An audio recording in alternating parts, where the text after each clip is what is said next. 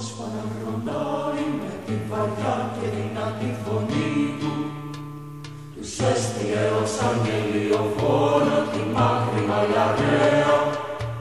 για να επαναφέρει τη μαύρο φορεμένη Δήμητρα ανάμεσα στο γέλος των θεών.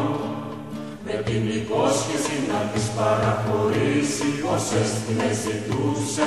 από τους αθάνατους θεούς συμφώνησε ακόμη να κατεβαίνει η κόρη στην καταχνιά του κάτω κόσμου το ένα τρίτο του ετήσιου κύκλου την τριτότη με μοίρανη ποσοφόνη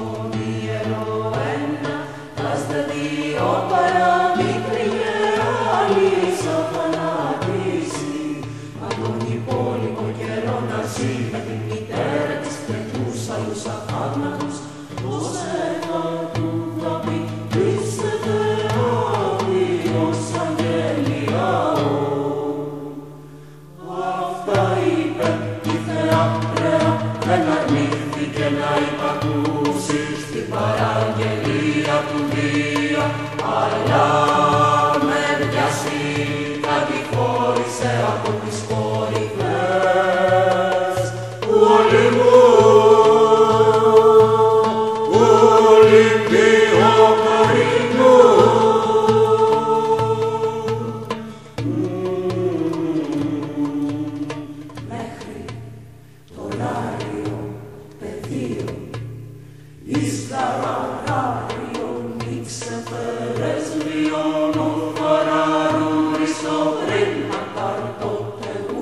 ούτι φέρες λιώ που ήταν κάποτε ο πιο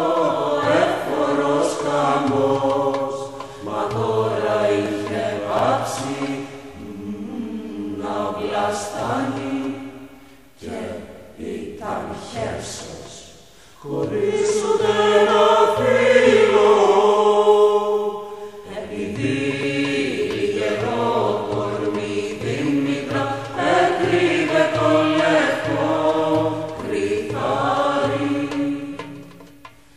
έπειτα όμως αν θα φτάνε η άνοιξη σ' αυτό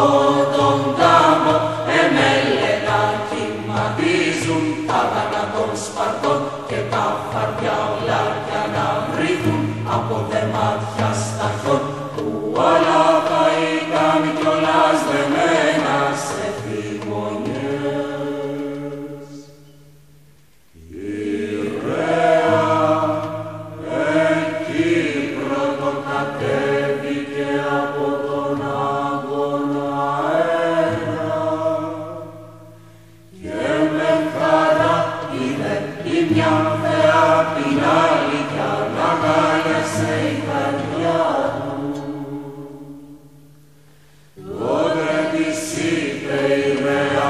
στο κεφάλι της λαμποκοπούσα διαλύστερες